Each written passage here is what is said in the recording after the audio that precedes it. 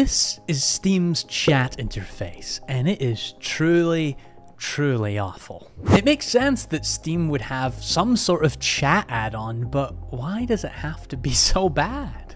Today we're going to redesign it so that you can see what it really should look like if someone put some love and tender care into the Steam chat app. I know I'm memeing a bit here, but let's get specific. First of all, the visual hierarchy is totally bonkers. My attention's being pulled all over the place, uh, pulled to different colors, and things are just grouped in very weird, inorganic ways. There's inconsistent treatments all over the place for section labels and groups. And if I want to have a conversation with someone, I have to open three separate windows to do that. Why? Why? Why? Why? First, we'll tackle colors and typography, the most important part. Then we'll get a simple wireframe together, and finally design all in Figma. Let's get going. Since this is a redesign, I just took a screenshot of the chat UI and then sampled various colors from the interface itself. Then I went to Tint and Shade Generator and broadened the palette a little bit. For typography, I decided to go with Poppins because it gives that kind of modern interface feel, uh, but it's also a little more friendly and it doesn't necessarily feel as cold as, say, Open Sans or something really generic. Then, in order to move to the next step, I had to create a ranked list of user stories. I'm not going to read them out to you, but these are what I would imagine someone would want to do in this interface if they're trying to chat with a friend. So after getting the basics down, colors, typography, and user stories, I sat down for about 30 minutes and put together a simple wireframe. This is how I'm expecting to arrange all the components on the UI um, so that they make sense before fleshing out the details of how they look and feel. Uh, now specifically the main problem I'm solving here is that three chat container problem that we just discussed. And I wanted to find a way to give users a way to uh, have both a list of their friends, but then have conversations conversations with one friend and then be able to know if they have a pending message from someone else and quickly bounce back and forth between various different friends and conversations. And initially I was considering adding tabs up here um, with like friend one and friend two, but that looked a little bit clunky and felt very overwhelming. I was kind of just packing way too much into this space here. So instead, what I arrived on uh, was just kind of having an extra pop-out UI, this thing here, that kind of represents a single conversation. Anytime you would click on an individual conversation here, it would pop out this sidebar and kind of show you what's been happening in that conversation. It shows you all your chat history. And this has a lot of benefits because it gives you a lot more space to show the conversation, which is really necessary for something like this. And it also gives you room up here for metadata and uh, contextual actions if you want to say block someone that's annoying you. Also wanted to give the user a mechanism to swap between contexts here. Uh, we've got friends and groups, and within friends, you're talking with individual friends. Within groups, you're talking in group chats with potentially multiple friends at once.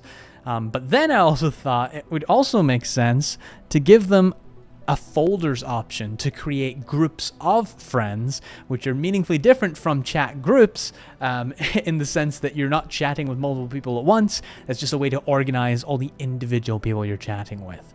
Uh, but these are meaningfully different contexts, so the segmentation UI makes a lot of sense. And then finally, if you want to add a new friend in the existing UI, you have to go to the side of the search bar and click a very tiny icon. And that felt a little inappropriate for what should normally be a meaningful action. Adding a new friend is a big deal. And for, I guess, properly socialized folks, that should happen relatively often.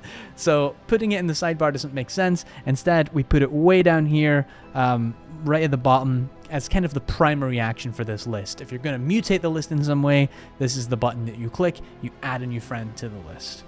So now that we have the blueprint or the structure of the UI, let's jump right into Figma and start making this thing real. The first major philosophical change that we're making here is we're just forcing the social menu to be a persistent part of the UI. Instead of being able to dismiss it like in the current Steam app, it just stays there forever. And I think this makes sense because the social component of Steam is kind of fundamental to the whole thing. I guess you could just use it as a games library, but um, where do you get your game recommendations? Most of the time it's from other people. And how do you play those games with other people? Well, you do it through the Steam chat interface. It's a fundamental part of the UI, so it's no longer collapsible. But now that we've agreed on that, we need to build out kind of the main profile area. This is the region of the screen that is responsible for indicating my personal status as the active user and letting me control my account settings. So the top right is kind of the heuristic we've established for where that kind of stuff's going to live. We'll put it there in the new UI as well. Now I want to be more intentional with the visual hierarchy in this UI. I want to use color and opacity to draw people's attention in the following way. Uh, first, I want to pull people's attention to those that are actively playing games and then people that are online and have had some activity recently, then people that are online but have been away for a couple of minutes or hours, and then finally people that are offline. I don't really want to be pulling attention there. So we'll play around with a mix of color and opacity to generate that very specific hierarchy. We'll also separate the contacts into those groups so they're easier to look through when you're using that UI in the future. Uh, for example, I have coworkers that I play games with. I have WoW friends. I have just high school friends. So having them organized helps me keep track of these esoteric names that are often hard to remember. Quick side note here, I'm using an app called Content Reel, uh, which is a free Figma plugin to generate the profile images for people in the UI here. Uh, Content Reel really, really, really helps if you want to make your UI feel much more uh, like an, an actual app. Oftentimes, I fall into the trap of using templated content, and templated content can sometimes make your UI look good when otherwise it wouldn't because you're not dealing with very, very long strings or awkward images that people get to choose on their own. So definitely check out Content Reel if you're uh, designing a real interface in Figma. Now that we've got the list more or less sorted, we need a way to amend that list. So we're going to add the button for creating a new friend to the bottom of this UI and uh, style it in such a way that it appears to be floating on top of the ever-growing list of friends above it. And we'll use this little dark gradient to indicate that it is floating on top of a larger list below. Now, I also wanted to make it really stupid easy to join your friend in a game if you find that they're playing something that you want to play. So if someone's deep in a game of Palworld and you're on the same server, you want to just like get in there ASAP. So we can let the user do that through the hover state. Um, and the reason we can get away with putting it in the hover state is because when you want to interact with someone, the first thing you'll do is probably move your mouse over. And when you move the mouse over, the action presents itself. You can just immediately click that join button. I think this is a solid treatment. But now that we've got the list more or less sorted, um, we need to figure out how we're going to build a chat interface and integrate it with this in a way that actually makes sense. So clicking on an individual username in this sidebar will pop open a dedicated chat UI, which we're going to start building now. And I really found that this was quite a challenge to build until I looked at lots of reference material and found that if you want to have like a sensible list of messages, um, oftentimes they're grouped by kind of a message session. So when you think about texting someone, right, you're not always constantly texting them. You'll kind of text them three or four things, then wait four hours, then text them one thing, and then wait a day or two, then text them three or four things, right? It's broken up into chunks. So we can mimic that same sort of behavior in the UI by listing the time for that session above a series of messages and then separating them with some space. I think this really does a lot to imply that you're looking at a chat history and it helps with readability as well because you can scroll back through historical chat sessions as opposed to just an enormous list of messages.